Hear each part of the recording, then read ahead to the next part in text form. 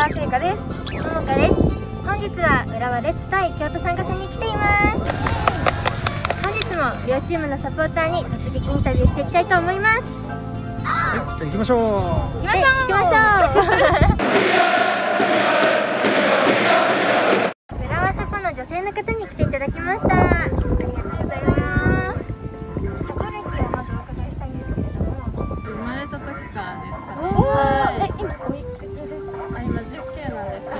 九年、すごい。マッチが好きなので。あきっかけお父さん。はい。ええー。すごい、い。い。ですね、ファミリーで。好きな選手は。好きな選手は、結構発想しなんですけど、でも私はこの。あ、小泉選手のユニオンで。私去年小泉選手来ました。本当ですか。どんなところが好きですか。そうですね、プレースタイルも。結構あの雰囲気性格なんていうんだろうあーキャラクター的なキャラクター的なそういうとこも好きなので。ちょっと甘い感じですよねね可愛い感じあちょっと可愛い的な女性サポーターに人気ですよねね、小泉選手人気ですよね。すごいですよね去年もね結構活躍されてね今年も前回は試合出たか次あのお父さんのきっかけであのサポーターになったって言ってたと思うんですけど、お父さんの推しの選手とかいます？が好きとかはいないんですけどマリノス戦でユンカーが3点得点じゃないですか。それに惚れてユンカーユニを買ってました。でも良かったですよね。めっちゃ熱かったですよね。熱かった。みたいな後半でまさか3点も入れるなんて思ってなかったから。普段は大体自由席が多いですねあ、はいみんなですね。私も裏ゴール裏で見てるので。ちょっとまだ行けてないんですよ。やっぱ最初上から見ていきましたか。どんどん下に下がりました。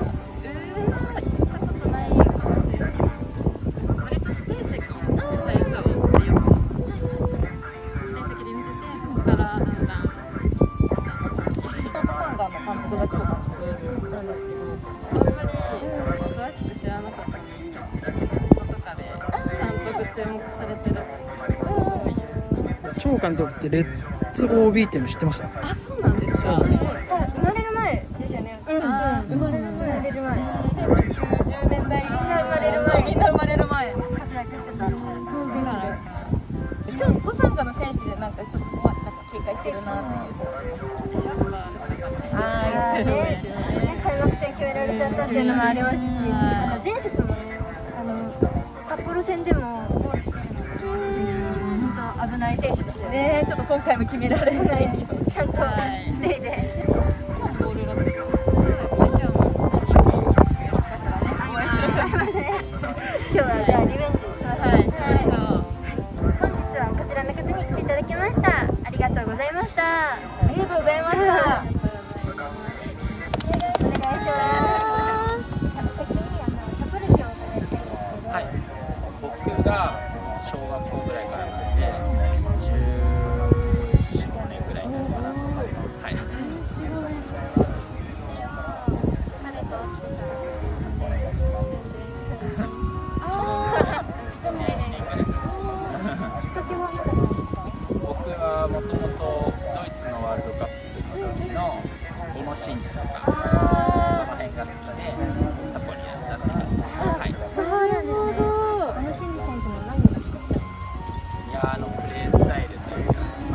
ゲーム全体支配するよあ。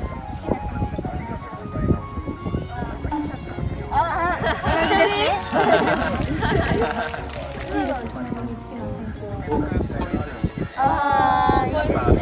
作る選手が好きだったりとか、あー。そうですね。そうなんですちょっと今日も出てほしいですよね絶対にね。はい。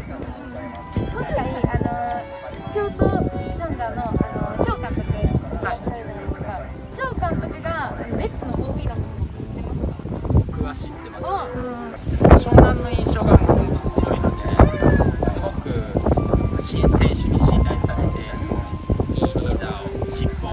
人なんだろうなっていう印象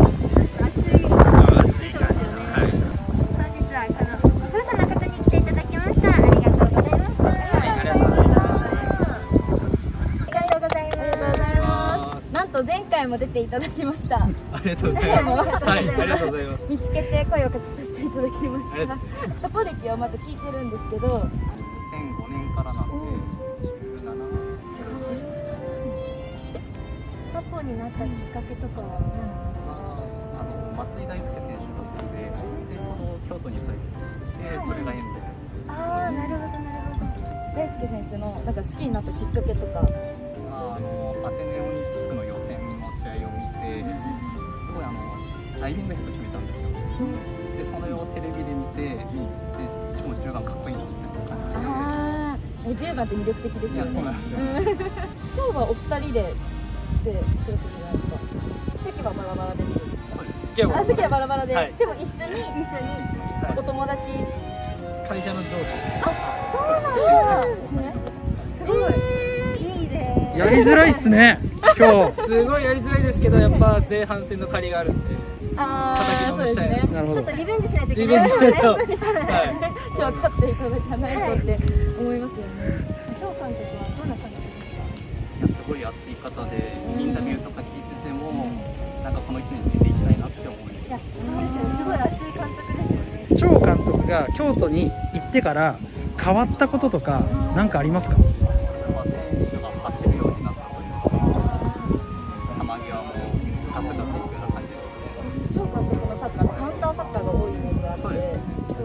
は結構固めて隙を狙いに行くっていうやっぱそうなんだなっていうイメージすごいですね1年でこう J1 に行ってそうん本当にすごい監督だなって警戒しなきゃいけないですよねそうですよね、本当に。はい、本日はこちらのお二人の方に来ていただきました。ありがとうございましありがとうた。ございました。お願いします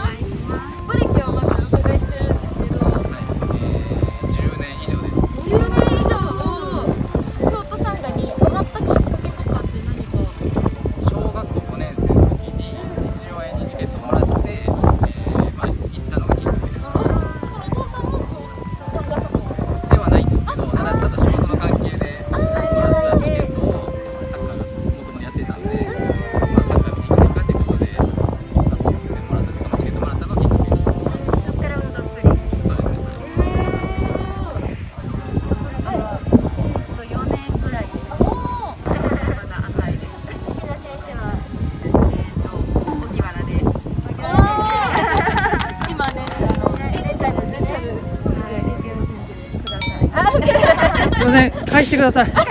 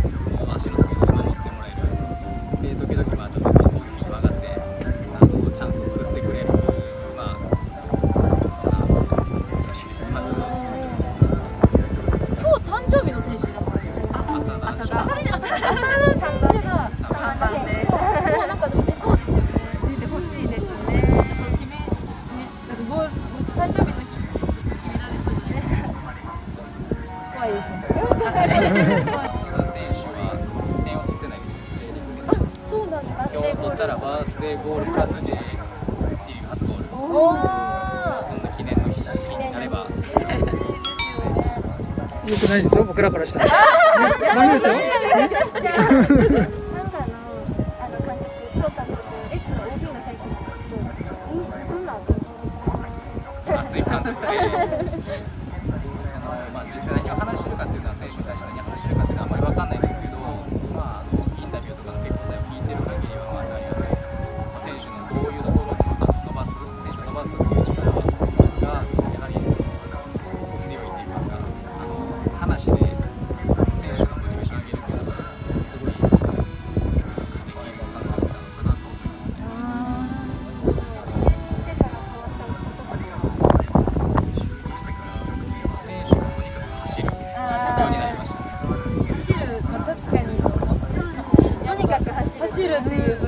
湘南の時からもずっとそこは変わらずにうんブレずにやってますよね。いやね多分ね今日もね多分走ってくると思うんでそう僕らちょっと警戒しなきゃいけない。前からプレスがガンガンガンガン来そうだからちょっとレッツも止めていただいて。本日はこちらのお二人の方に来ていただき